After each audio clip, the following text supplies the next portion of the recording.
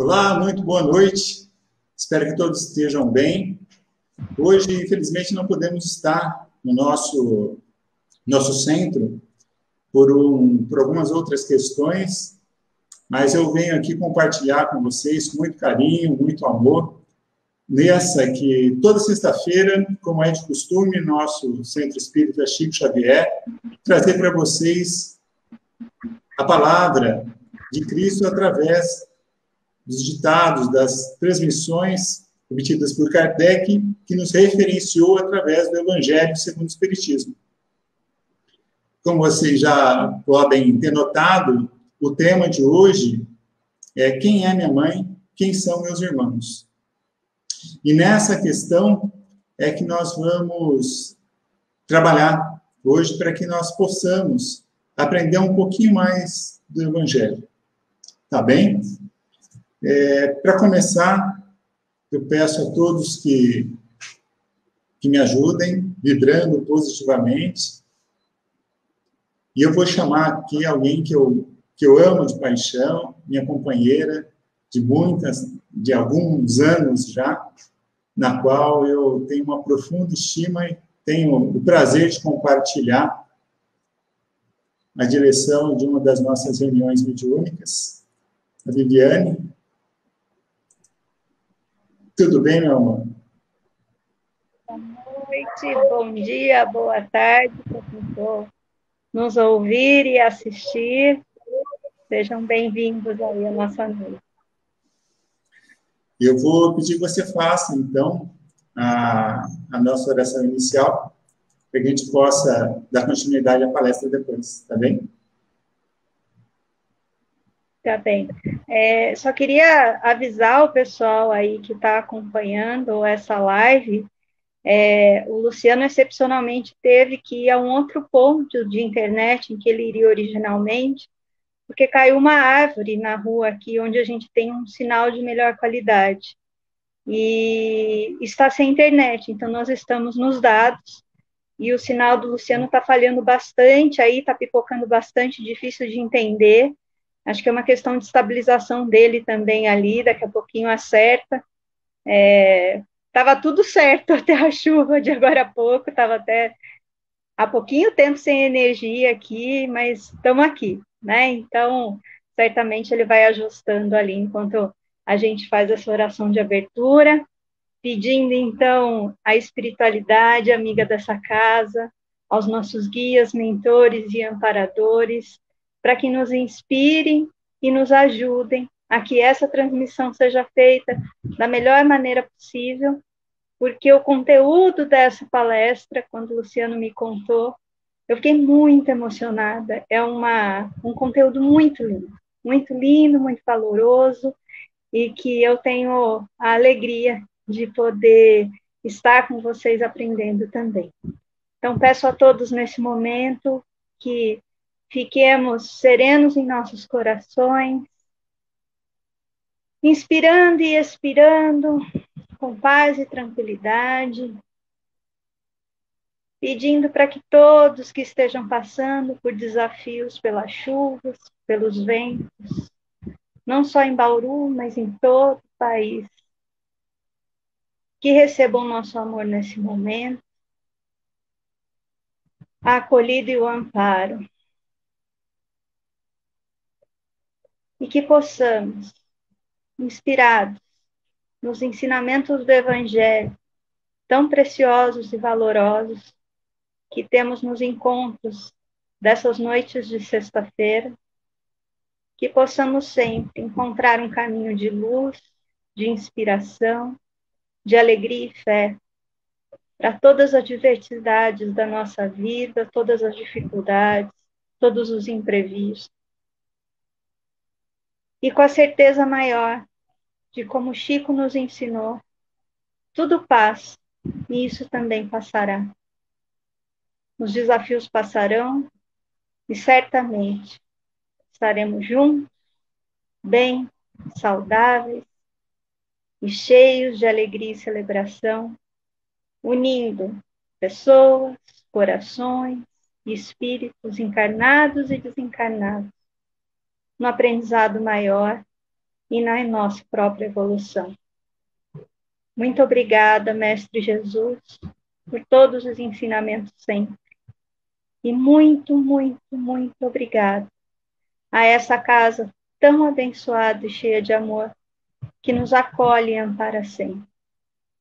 Aos nossos amigos, companheiros dessa noite, dessa tarde ou dessa manhã, que vão ter a alegria de ter a palestra do Luciano.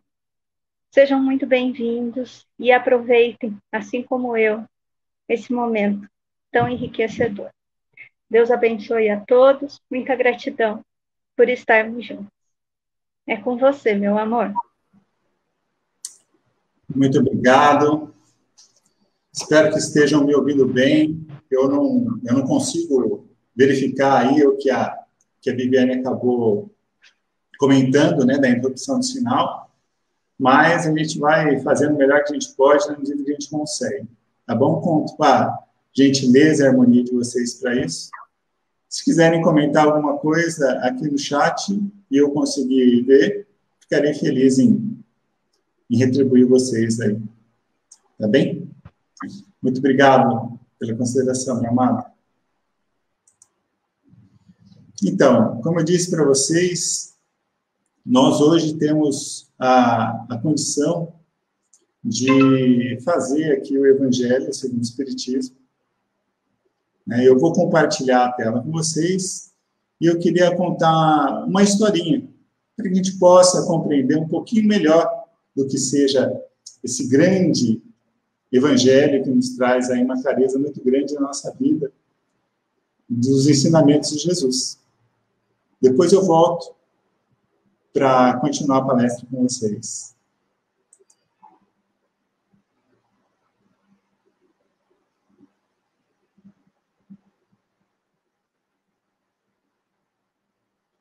Então, estamos aqui, né?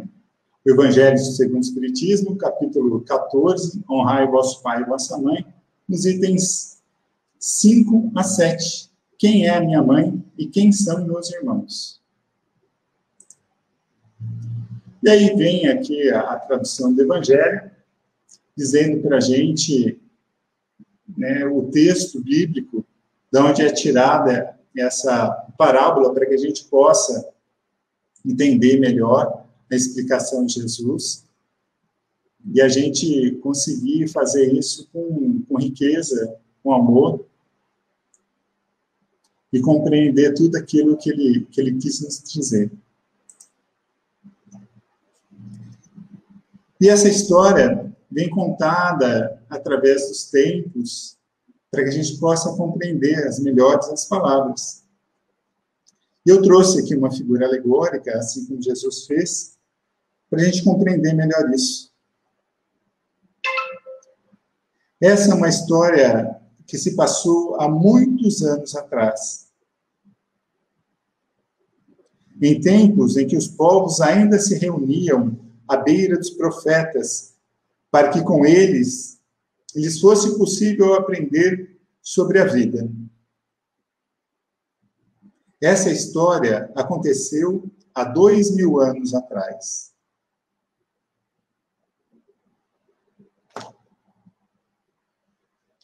Começa com um peregrino que caminhava pelas terras da região de Cafarnaum que sabendo que por aquelas terras havia um homem muito sábio que anunciava a beleza da nova lei, uma lei de amor, que equiparava os homens, cujas palavras anunciavam um novo reino, governado por um único Deus, justo e bom.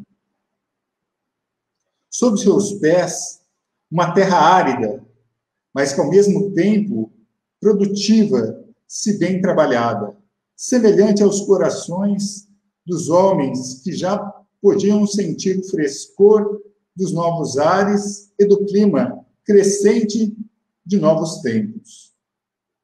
Esse nosso irmão, na busca pelo anunciado Messias de Nazaré, que compartilhava de seus conhecimentos com todos, sem distinção, lhes apresentava uma interpretação de uma nova lei, era seguido por muitos, mas também perseguidos por outros muitos, em maior número.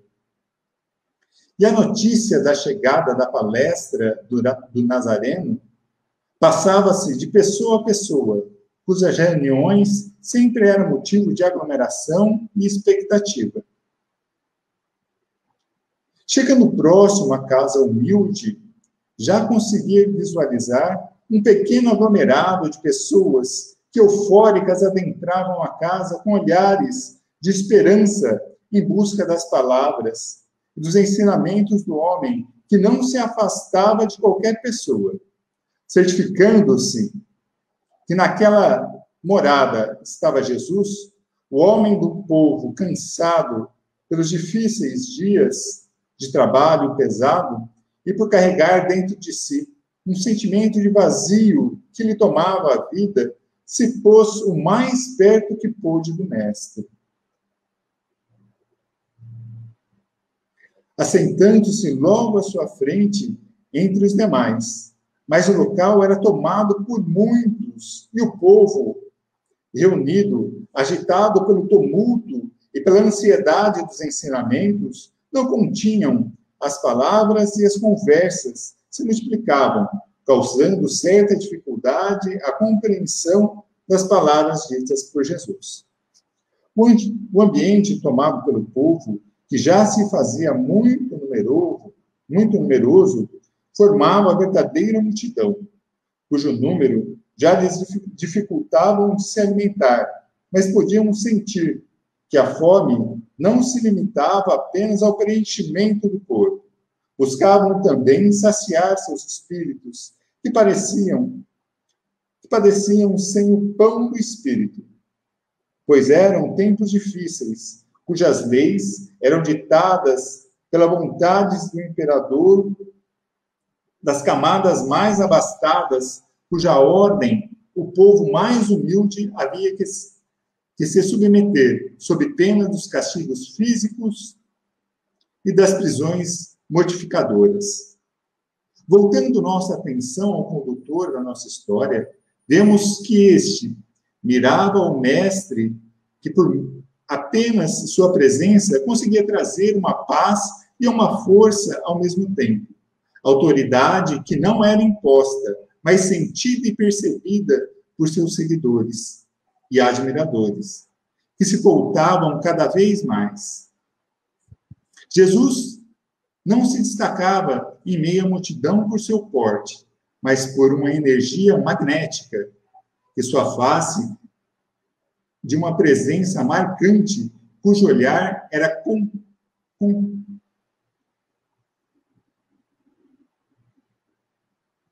competente a dissipar quaisquer intranquilidades e temores, cuja paz se espalhava pelo ambiente com o melhor dos perfumes, podendo sentir-se sua bondade como o vento fresco de uma manhã de primavera.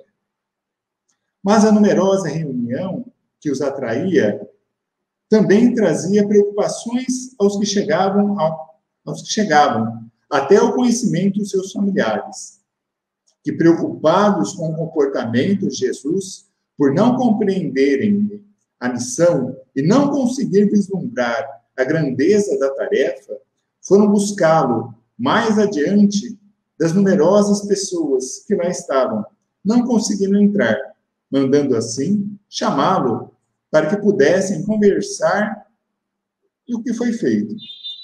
O povo reconhecendo a mãe e os irmãos de Jesus, foram lhe chamar, lhes dizendo: Vossa mãe e vossos irmãos estão lá fora, vos chamando. Nosso amigo, que apesar das dezenas de vozes que lhe cercavam, conseguia se concentrar em cada palavra de Jesus.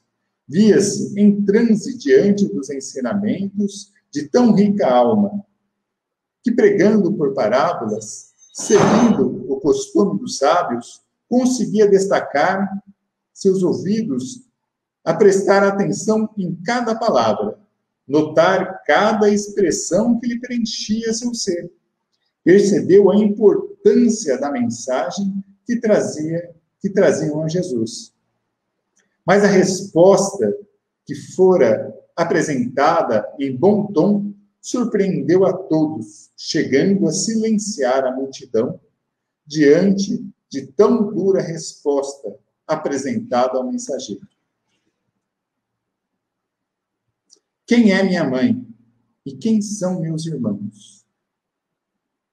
O aspecto que tomara, o espanto que tomara o ambiente, dissipou-se com a face clara e tranquila do mestre, cujo olhar se estendeu a todos, desde os mais próximos aos mais distantes, e com um leve sorriso nos lábios, trouxe, como sempre, explicações que fugiam da compreensão da maioria, cujo silêncio fora rompido com a autoridade de sua voz.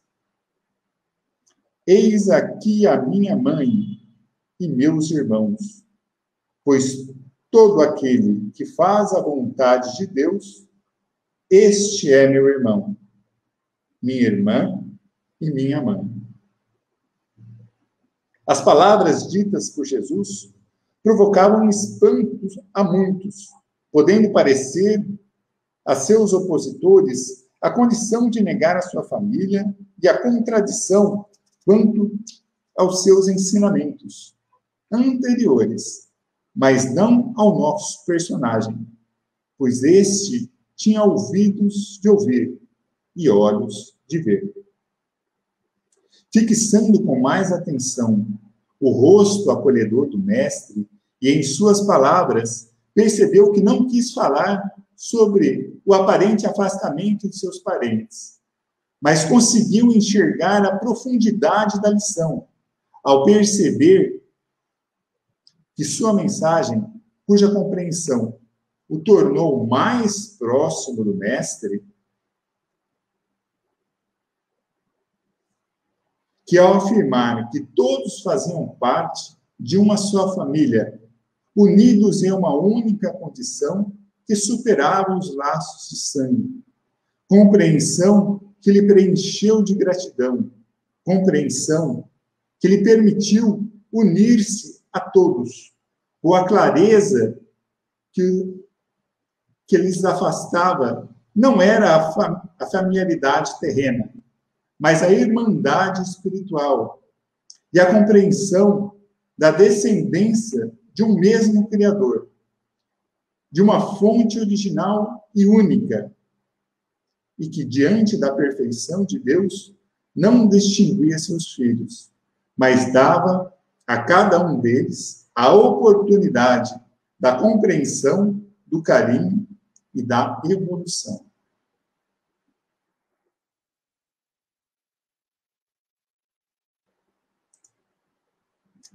Assim, meus queridos, é muitas vezes a maneira de, de que a parábola da qual Jesus trazia para a gente era o caminho da compreensão. Mas que compreensão que se tinha da época? Quando Jesus disse: Quem são meus, quem é minha mãe e quem são meus irmãos? Com certeza absoluta, ele não tinha a intenção de afastar a sua parentela mas ao contrário, completando seu raciocínio e dizendo: Aqui estão os meus irmãos e minha mãe, desde que façam a vontade de Deus, aos que compreendem, aos que conseguem enxergar, de fato nos traz a verdadeira compreensão. Porque assim nos permite enxergar que a parentela fraternal que nos traz a compreensão, dos, na visão dos materialistas, ficam única e exclusivamente ligados àqueles que nascem de uma mesma mãe, de um mesmo pai, ou até mesmo de pais diferentes, mas com uma única ligação, com um tronco exclusivo daqueles laços sanguíneos. E aí a compreensão que a carne provém da carne, mas o espírito provém do espírito. E nessa condição é que a gente consegue compreender as falas de muitos, né, a nos agradecer pelas, pela gentileza das palavras, mas não é somente essa questão que nos importa. É compreender o que, que a gente pode compreender além daquilo que está escrito, além daquilo que se traz como compreensão. E o Evangelho, como sempre, ele traz primeiro as palavras de Cristo, para depois o Espírito nos trazer uma compreensão do que seja aquelas palavras, tendo em vista que os dias, os tempos eram outros. E nessa condição, a gente consegue ver que a tradução dos Espíritos, muitas vezes, é mais forte, é mais limpa do que as parábolas que foram ditas há muitos, há dezenas de anos atrás. Então, nós gostamos muito de fazer esse estudo toda sexta-feira para aclarar. E a sexta-feira passada foi José Augusto que nos trouxe a palavra justamente compreensão, de honrar pai e mãe. Então, não poderia Jesus agora querer contradizer essa linearidade de pensamento dele.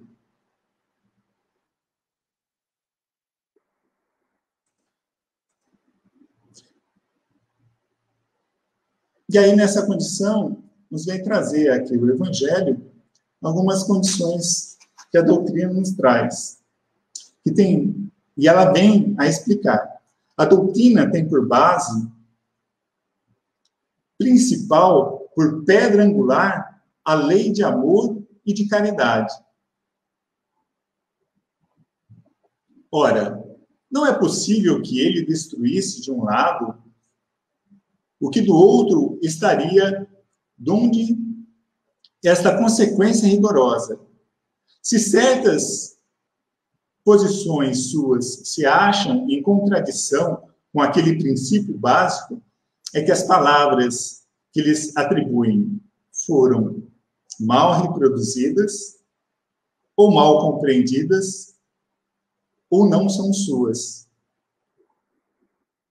É sempre importante entender justamente essa condição em que nós não conseguimos ver com clareza tudo aquilo que lhe é trazido. Que muitas vezes nós conseguimos ter uma compreensão limitada do que seja a palavra de Cristo. E aí a explicação ou foi, mal compreendida, ou mal traduzida, aqui para nossos tempos, tendo visto que a língua da qual Jesus falava a nós hoje em dia já é uma língua morta, e aí temos que confiar muito na tradução daqueles que nos trazem esse conhecimento, os mais estudiosos se aprofundaram nessa questão. Então, eu gostaria de trazer para vocês aqui essa continuidade, essa explicação do que foi e do que é, a maneira da qual a gente consegue compreender.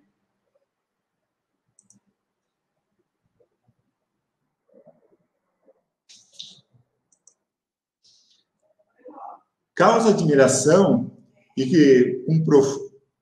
um fundamento que neste passo mostrasse Jesus tanta indiferença para com seus parentes e, de certo modo, negasse sua mãe.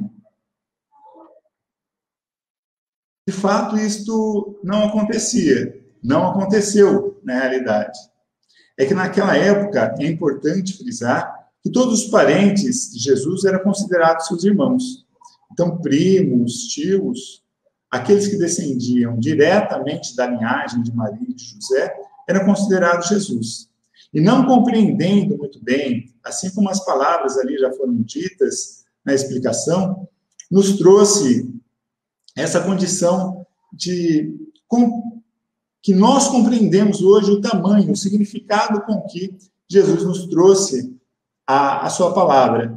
No entanto, nós vemos que não era, naquela época, muito bem compreendido e fugia a compreensão, tanto de seus irmãos, parentes, quanto de própria Maria, como foi até lá. E aí diz, se vocês verificarem na leitura na leitura que vem trazer do Evangelho, que trazia lá que Jesus perdera seu espírito.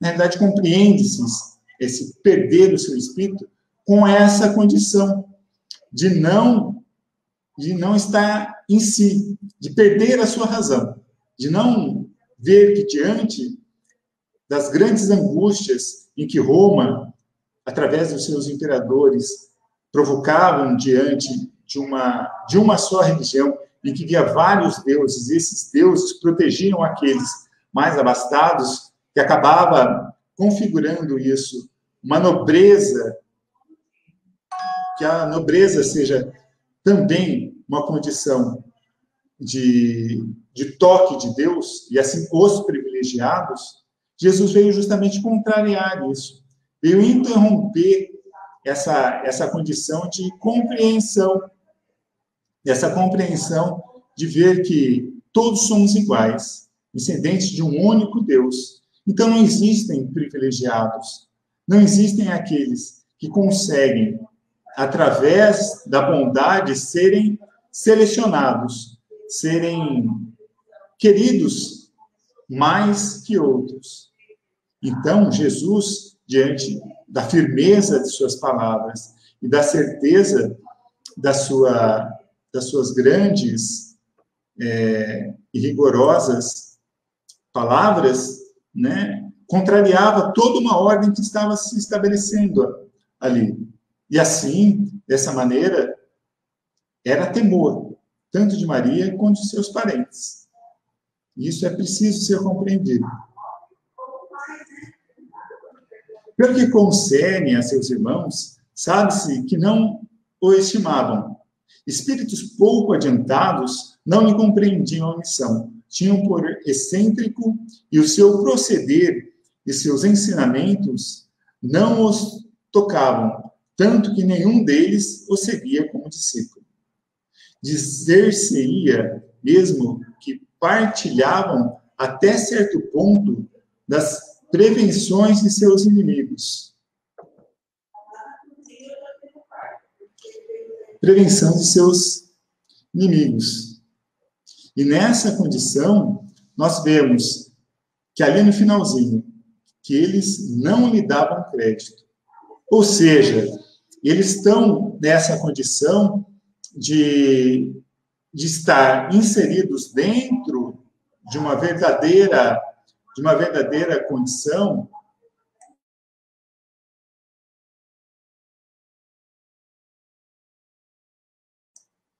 E aí, nessa condição, nós vemos que,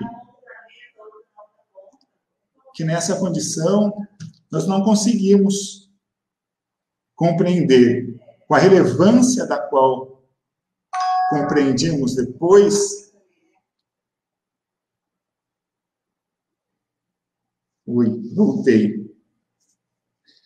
Então, é preciso compreender essa questão de entender que naquela época existiam outros movimentos das quais nós não conseguimos nos compreender hoje entender que, que Jesus estava inserido em uma em uma condição que não era segura à época, eis que era que as autoridades que ali existiam eram muito severas, mereciam sem dúvida um cuidado e o temor na realidade em que a mãe de Jesus apontava era na verdade uma uma prevenção. Né? Mas vamos acompanhar aqui.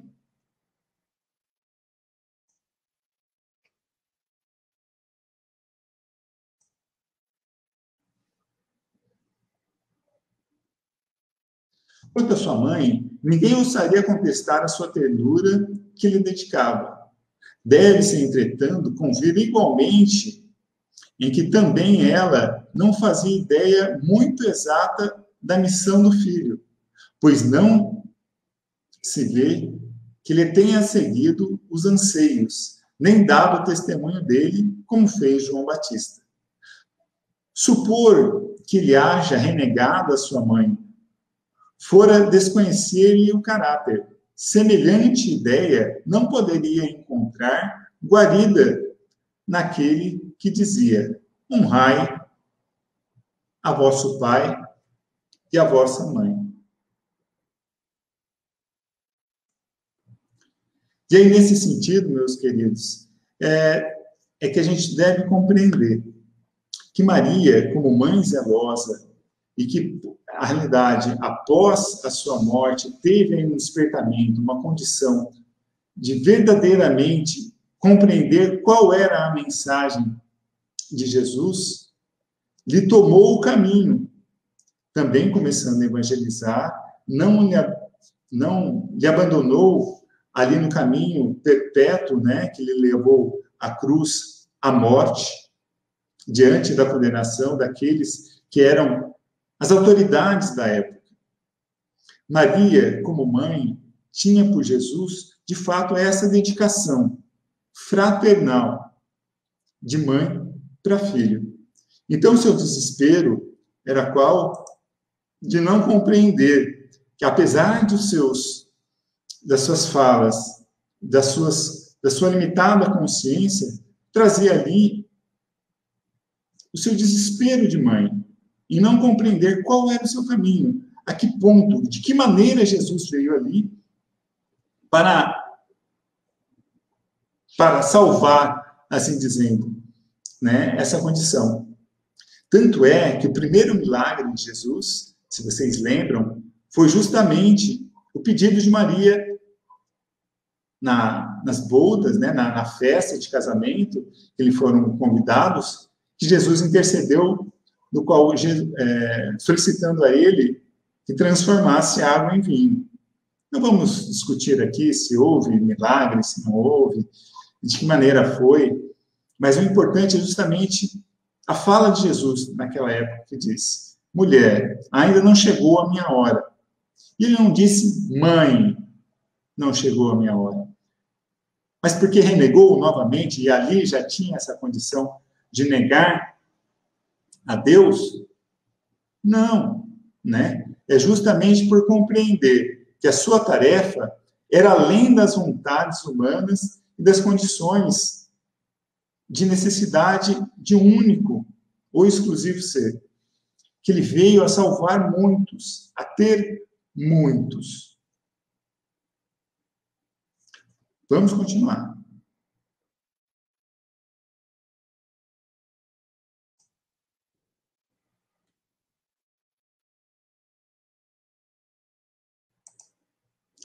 Necessário, pois, se faz procurar outro sentido para suas palavras, quase sempre voltadas no véu de forma alegórica. Ele, numa ocasião, desprezava de dar um ensino. Um ensino. Aproveitou, portanto, aquele deparou com a chegada de sua família para precisar a diferença que existia entre a parentela corporal e a parentela espiritual.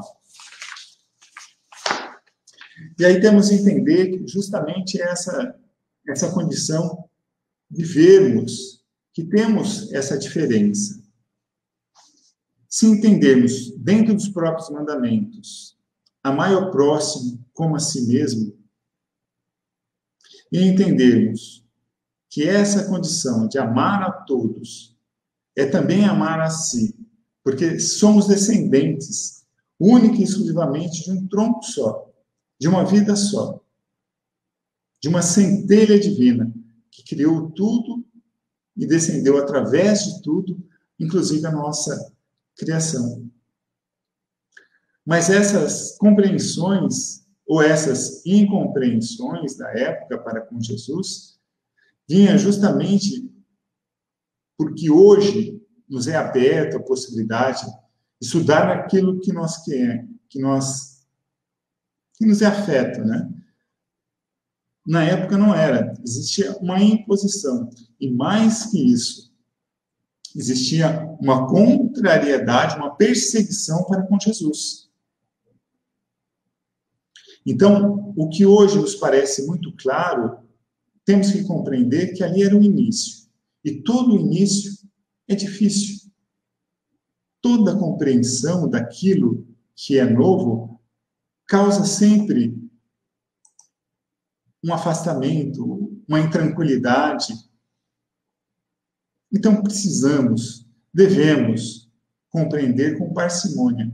E mais que o nosso estado evolutivo, a nossa limitação de compreensão, compreender também a limitação de compreensão do nosso irmão, daqueles que vêm junto com a gente, que evoluem junto com a gente, que têm dentro dos seus desafios os mesmos que os nossos. É preciso entender, é preciso compreender que cada um está num estágio, cada um tem o seu grau de evolução, de estágio, uns caminham, outros correm, outros rastejam. Mas a lei é de evolução e ninguém fica para trás, ninguém deixa de se comprometer com aquilo em que veio. Existem fatores que são maiores daqueles que a nossa escolhe. Então, é necessário compreender que à medida que as coisas vão evoluindo, evoluímos também em conjunto. E aí contarmos com a parceria daqueles que compreendem mais, ou ainda que tem um estágio, um ponto de vista diferente do nosso, é compreender que todos, invariavelmente, estão no mesmo caminho, estão numa mesma encarnação e dependem necessariamente de uma, de uma, uma compreensão, no auxílio ou no pedido de ajuda.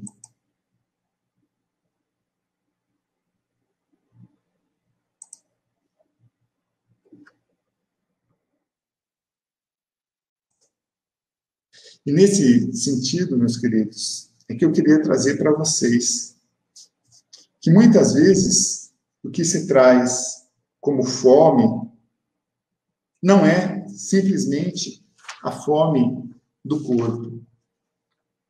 É também a fome da palavra.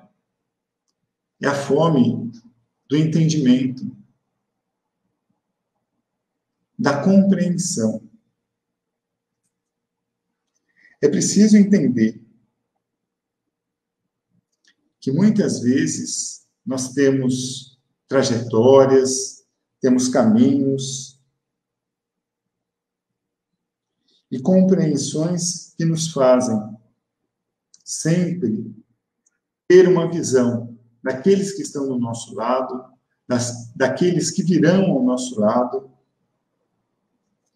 daqueles que merecem a nossa atenção, o nosso carinho. Entendemos que a família, por mais que muitas vezes nos é trazida como prova e um aparente não pertencimento, em não entendermos por que estamos ali. Porque pessoas aparentemente tão diferentes de mim estão nessa condição de embate, de enfrentamento. Mas família, muitas vezes, não é escolha, é prova. E outras vezes não é prova, é uma escolha. A maneira que a gente vai encarar isso, a forma com que a gente vai conseguir elaborar essa condição, é muito mais nossa do que dos outros. A reforma íntima, a grande condição de entendermos que o caminho é nosso e assim temos que trilhar pelos nossos pés, caminhar pelas nossas próprias forças, sempre com auxílio, lógico, daqueles que vieram na mesma encarnação com nós. Mas, sem dúvida, a grande responsabilidade, a infinita mensagem da qual precisamos escrever com as nossas próprias mãos, responsabilidade é inteira e exclusivamente nossa. Então, nas palavras de Jesus que, que traz essa mensagem, quem é meu, quem é minha mãe e quem são meus irmãos, é compreender muitas vezes que o caminho que nos é colocado é mais uma afinidade corporal, mas sem dúvida nenhuma é uma compreensão, uma necessidade e um comprometimento com todo, em colaborar com muitos. Existem, de fato, a nossa a nossa individualidade, aquilo que temos como meta, que temos como que temos como necessidade, né, em cumprir, mas sem dúvida temos a nossa o nosso comprometimento com a nossa família espiritual, que independe das nossas escolhas, que são trazidas dentro da nossa encarnação por um motivo ou por outro, seja por dívidas, seja por gratidão, seja por comprometimento, por afeto. E se não resolvermos aqui, temos que voltar novamente. E se resolvermos aqui, ganhamos uma legião, um mundo de novos amigos, de novas esperanças e de novos caminhos. Então, compreendendo, irmãos, que chamar o outro de irmão depende muito mais de um reconhecimento espiritual que, de fato, uma afinidade corporal. Porque estamos carne, mas somos espíritos. Espero que minha fala, apesar das dificuldades aqui da internet, da tecnologia, puderam chegar para vocês aí de uma maneira mais clara, mais limpa, e mais justa. Meu amor, você está aí? Quer encerrar? Trazer uma nova mensagem?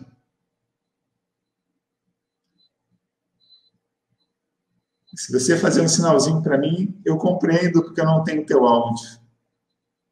Sim, então vamos chamá-la aqui novamente. Aí, chegou. Muito eu obrigada. Não, eu não consigo, eu não conseguia te ouvir, né? Porque você estava aqui no, minimizada, mas eu conseguia te ver. Você fecha a gente, então? Primeiro, vamos agradecer a todo mundo aí que está nos pacientemente é, ouvindo, né, com as falhas e com os desafios aí da internet. A mensagem com certeza foi passada, né? Uma mensagem muito bonita e a necessidade da nova era, né? Dessa nova transição que a gente vive, única com certeza para nós de consciência, o quanto precisamos de irmandade, de sentimento de fraternidade. Então, gratidão. Acho que a, o principal, com certeza, pode ter paz no coração, Luciano, que você conseguiu passar, com certeza. Então, muito obrigada, viu? por essa noite de tantos desafios aos bauruenses e vencidas, né? De uma maneira ou de outra. É, o caminho para cá, várias árvores caídas, várias ruas no escuro, né? Mas a luz que brilha dentro, de, dentro da gente não se apaga. E que essa intenção, que esse valor seja trazido sempre para a gente. Você fecha, então, com carinho, com amor, sempre. Vamos, então, levar nossos pensamentos, conectar os nossos corações uns aos outros,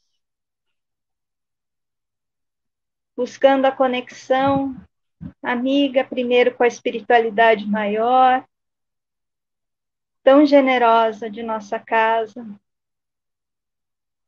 que vai ao encontro de cada irmão disposto a receber luz, carinho, alento, amparo, esperança e fé. Que possamos nos conectar com essa luz maior e expandir nossos corações para os nossos familiares, mães, irmãos, pais, filhos. E nossos familiares de irmandade, como Luciano nos ensinou. Nossos amigos, nossos vizinhos, nossos conhecidos e desconhecidos, companheiros de jornada evolutiva.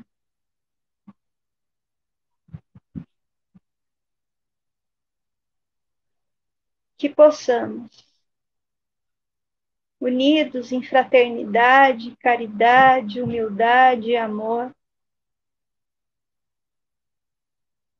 poder oferecer o que temos de bom a quem quer que precise. E que possamos receber aquilo que ainda não temos ou estamos com algum tipo de deficiência ou defasagem nesse momento, daqueles que podem transmitir a nós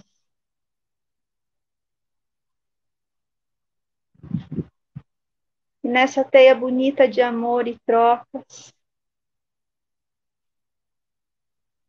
possamos conectar aquilo que há de mais profundo e elevado, que é o nosso amor maior.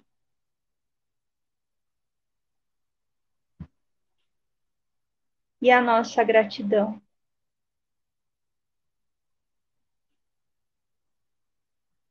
Por sermos aprendizes tão iniciantes e, ao mesmo tempo,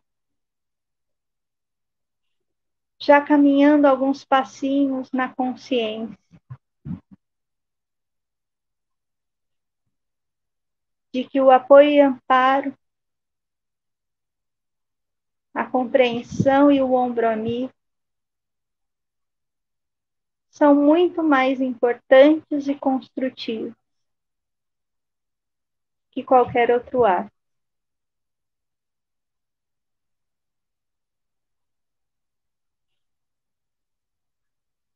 Que possamos acreditar e confiar na engenharia maior de Deus, que nos oportuniza sempre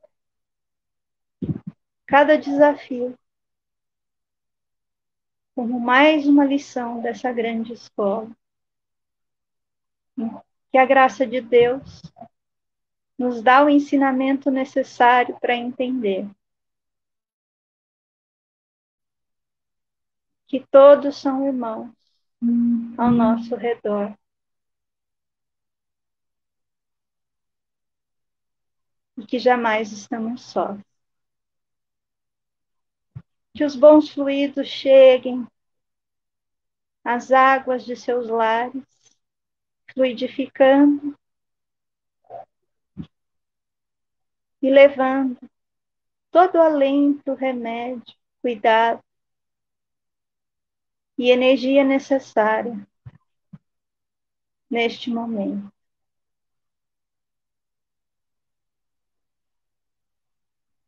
que a imensidão de amor tão linda de nossa casa, o Centro Espírita Chico Xavier, possa plantar sementes sempre de esperança e fé, coragem e alegria, não importa o que estejamos passando, que saibamos confiar e celebrar a oportunidade de aqui estar aprendendo. Que tenhamos uma noite linda de amor e paz e um final de semana abençoado. O Mestre Jesus esteja conosco, hoje e sempre. Gratidão a todos.